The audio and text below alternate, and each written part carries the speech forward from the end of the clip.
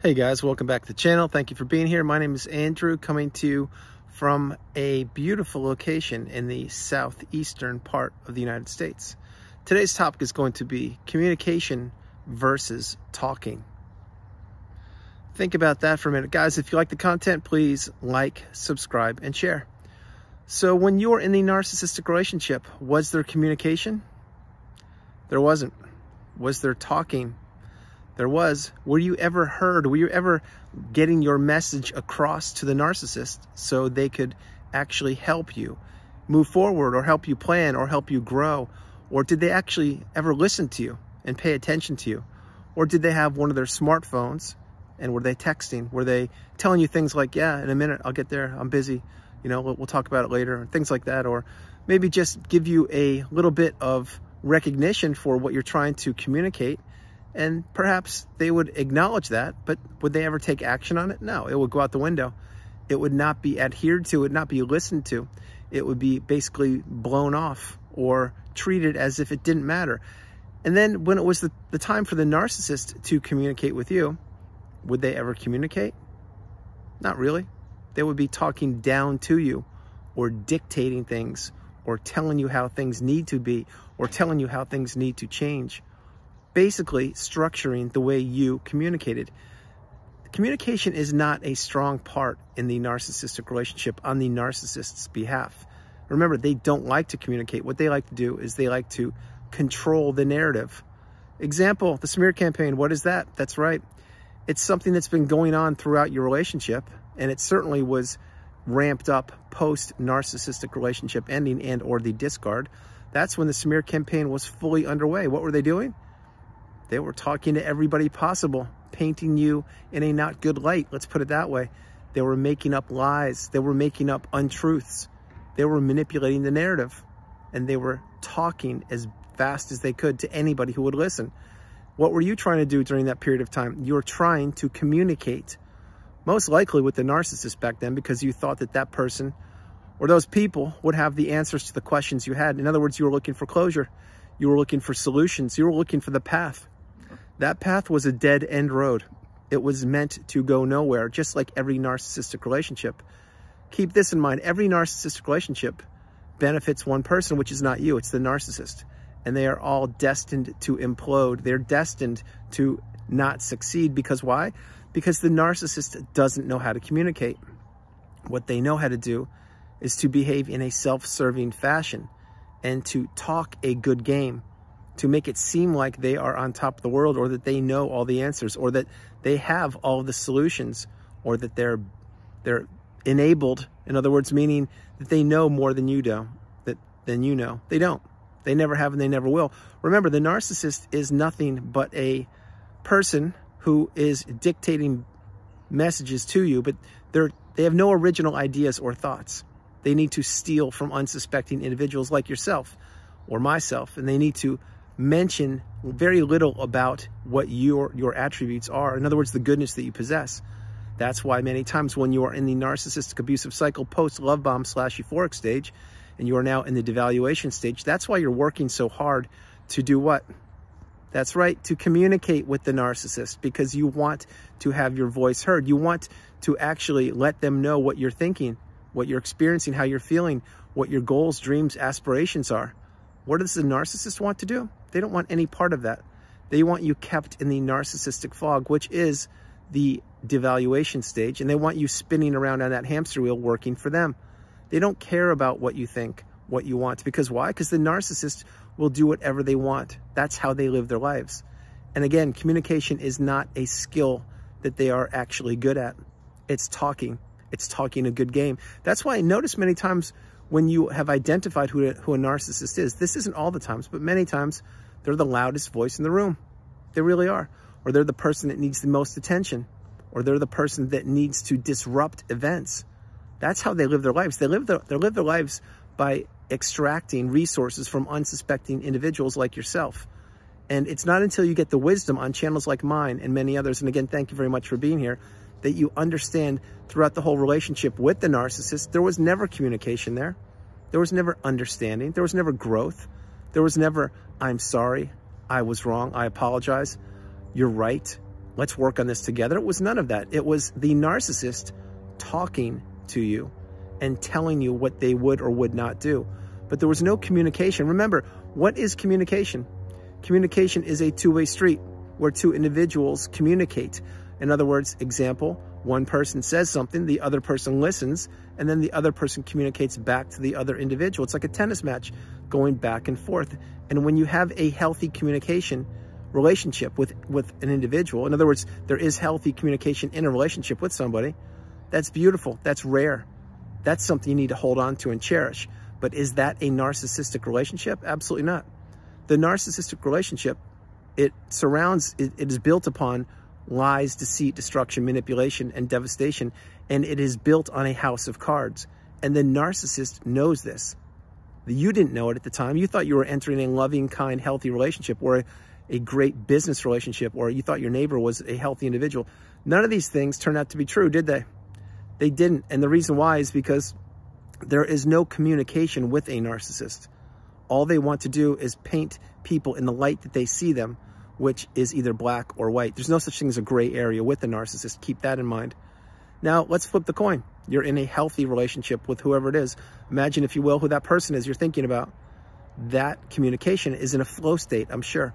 It goes back and forth like the tennis match I mentioned. And communication there, it's it doesn't have to be uh, arranged. It doesn't have to be, you don't have to schedule it. Example, okay, let, let's sit down and have a meeting at four o'clock on, on a Saturday. No, you just, you communicate. In other words, hey, I'm going to the store, I'm grabbing something. Do you need something? Oh, sure, yeah. Can you pick me up this? It's just such a flow state. It's natural. It's beautiful. With the narcissist, how is the communication? Um, there isn't any. It's one person, the narcissist, talking out of both sides of their mouth and many times telling you false truths or untruths. We know that now because I mentioned the smear campaign. But the point is, is these people, these individuals, they just go through life blowing up relationships, businesses, families, marriages, brother, sister, sibling, sibling relationships, everything, friendships, huge, huge things. And they, in the wake of their path of destruction, excuse me, what do they do? They're not going to introspect. They're not going to be accountable. They're not going to communicate that, in fact, they did do things that weren't good. Never. Not going to happen. That is exactly why they have little groups and groupies of friends. That's exactly why they jump from person to person, business to business, relationship to relationship. What are they looking for? They're looking for unsuspecting individuals who will tolerate their poor behavior and who will not have the wisdom on the narcissistic abusive cycle. So communication versus talking. Remember, you can talk all you want to uh, but actions speak louder than words. Remember, remember that. It's a very famous quote, and it's completely true. So going back to the narcissistic relationship, how many times did they future fake? How many times did they blame shift? How many times did they gaslight you? How many times did they stonewall you because they knew that you were telling the truth and they, they didn't want to hear it? How long did you endure the smear campaign? How long did you endure the silent treatment? How many times were you triangulated? How many times did you doubt yourself? How many times did you not believe in yourself? How many times did you actually have to take notes about the relationship because things were happening to you that were so not natural, so not normal that you're like, something's wrong here and I don't know who to talk to. I'm not sure. I need to communicate this with somebody, but I don't know who to communicate it with.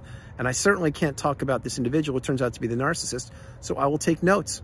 Maybe you journaled. Maybe you took notes on your smartphone, your laptop, your desktop, your tablet, whatever. And you did it. And then you, you look back after the relationship was ended, has ended, or after a couple, a period of time, and you said to yourself, oh my gosh, these notes, that's, that's a narcissist. What is this? I didn't even know what that, that what that word meant.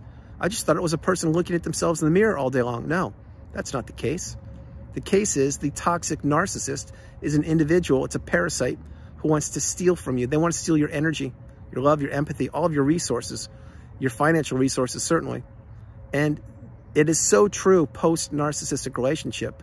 If you really reflect back when you're in it, was there ever communication? No, there was manipulation. But yet, let's let's dig into that for a moment. When you met the narcissist, what did you do most likely? You communicated all about yourself, your history, your past relationships, your upbringing, your childhood, the schools you went to, your business relations, perhaps even your financial resources. All these things that are in the past, it's done now. But what did the narcissist do? They kept you talking and talking and talking and communicating and communicating. And when it was time for them to share what their history was, did you ever get truths? No. You got half-baked responses that may or may not be true, but all you got was talking. You never got communication. What you got was an individual who was watching you consume their words, and then they would spin it the direction of your emotions, of, of exactly how you were feeling. And then right when you were asking them more and more questions, what did they do? They shut it off. They changed the topic. And then you just let it go and you ignored a red flag or didn't trust your instincts or intuition. That's how the narcissist wants you. They want you out of the love bomb slash euphoric stage into the narcissistic fog slash devaluation stage. That's where they want you. That's where the narcissist thrives. That's where the narcissist finds your replacement. That's where the narcissist no longer has to communicate with you. That's where the narcissist wants you isolated and just to become an extension of themselves. It's a sick, twisted game, but it's real life. If you haven't experienced narcissistic abuse, consider yourself fortunate. If you have, my heart goes out to you. You know what I'm talking about. Drop comments below. The point being, communication is a two-way street that is reciprocal and it benefits both parties. In other words, right now you are consuming my wisdom and my experience and insight and my hope is you're going to drop comments in the comment section below and share your insight, wisdom, experiences with the channel. That's called communication. It's not about who has the loudest voice or who has done the most things or who's achieved the most. Who cares about that? What matters is that you are getting the wisdom and that you can communicate freely with individuals who are not narcissistic. That's the path. That's exactly what you must do. So my point is this before I close the video out. If you're in a toxic relationship, my hope is you're looking to exit it. If you're already out, God bless you. If you're doing your best and you've already healed and processed things or you're on the healing path, again, my heart goes out to you. This is beautiful. The whole point is each and every day you need to be making progress, moving forward each and every day. And communication on this planet called Earth is vital. It's huge. We need proper communication in any relationship we developed, develop, develop. And the reason why that is, is because when you don't communicate your knowledge or your experiences or your opinions or thoughts, then number one, you're not heard. But number two, you don't benefit, you don't grow. What you do is you become alone. You feel isolated, just like you did in the narcissistic relationship. Communication is vital. And to say what you want when you want, that's powerful, it's beautiful. On the other side, talking, anyone can talk. You know, you go on a bus, an airplane, you go to an event, whatever, and you hear people talking. I get it. People are talking. That's great. But there's a big difference between communicating and talking. Many times people talk to be heard. Why? Uh, that's for a different video. But when you're communicating, it means you're choosing your words wisely, you're using them appropriately, and you are sharing is wisdom and or information with another individual. Communication is paramount. It's absolutely how this planet continues to move forward. But talking, now, Talking, like, there's no room for talking. And when you were in the narcissistic relationship, that's all you did. You consumed the narcissist talking and the berating and the lies, deceit, destruction, and manipulation, the future faking, and the silent treatment and the ghosting, stonewalling, that list goes on and on. That's why my hope is you've gone no contact, blocked the narcissist, removed all fly monkeys and people associated with them, and you're moving forward and beginning to live your best life, or you're living your best life right now. So guys, that's the video. I hope you liked it. I loved doing it from beautiful southeastern United States. This is Andrew. Namaste. Have a great evening. Stay true, stay blessed. Continue to become awakened and aware and understand there is a huge difference between communication and talking. It's huge.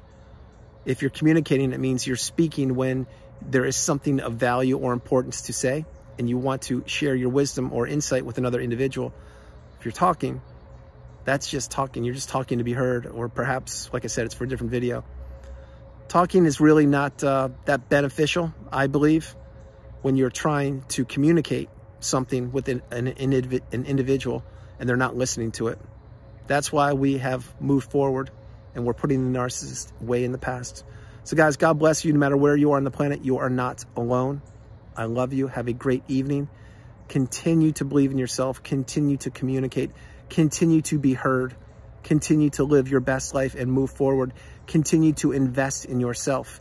And remember, if not now, when? Take action. You are in control of your destiny. You are in control of your path. The narcissist is in the rearview mirror. We are now moving forward, living our best lives. We don't have to listen to an individual talk and perhaps not keep their word or talk just to be heard or talk to disrupt your day. Now communication is of the utmost importance. God bless you. I love you. You are not alone. I will talk to you tomorrow. Good night.